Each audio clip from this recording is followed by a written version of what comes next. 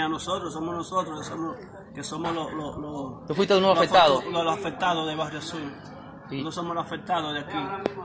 Ahí hay mucha gente, mucha gente grande que quiere cogerlo para ellos, el apartamento, como el gobernador que una vez lo quería coger.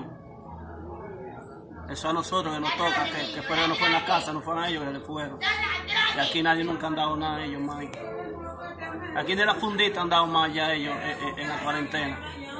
Este es el barrio sur. Este es Barrio Sur, ¿Cuál es el nombre tuyo? Vladimir Guzmán. es que esos apartamentos prácticamente nos lo dieron a nosotros y todavía no nos lo han dado.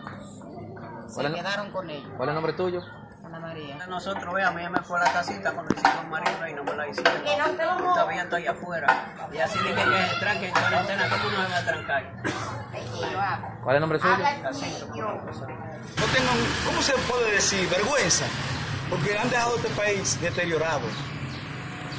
Y en las condiciones que se ha luchado, que viven para que saquen esa gente de ahí, por las condiciones que viven, la vulnerabilidad, de que se perseguido en vida humana, porque ese es un sector que no está habitado para vivienda.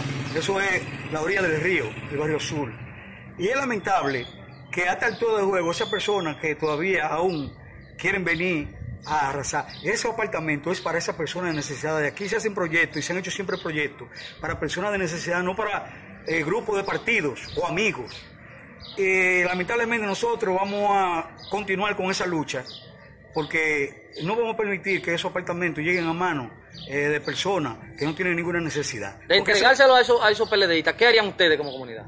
Bueno, vamos, a- vamos a, a la lucha, vamos a enfrentar la situación, porque esos apartamentos se construyeron con el sudor de cada uno de nosotros, con los impuestos que pagamos para este tipo de situación como la que vive el Río Azul. Que cada vez que hay una, una llovina, todo el mundo está preocupado por la situación, porque que esa es la orilla del río. Y ese proyecto está hace mucho tiempo para inhabilitar esa, esa área y sacar a esas personas de ahí para esos proyectos de apartamentos ¿Por qué no se le han entregado esos apartamentos? las mismas intenciones políticas que el PLD, personas que estaban ahí pensaban que todo lo que se producía aquí, todo lo que se produce es de ellos, aún todavía cuando le quedan días. Mira cómo están manejando la situación. Por eso nosotros como dominicanos me siento contento orgulloso de que eh, decidimos, muchos jóvenes se involucraron en la política ahora para sacar a esos bandidos de ahí.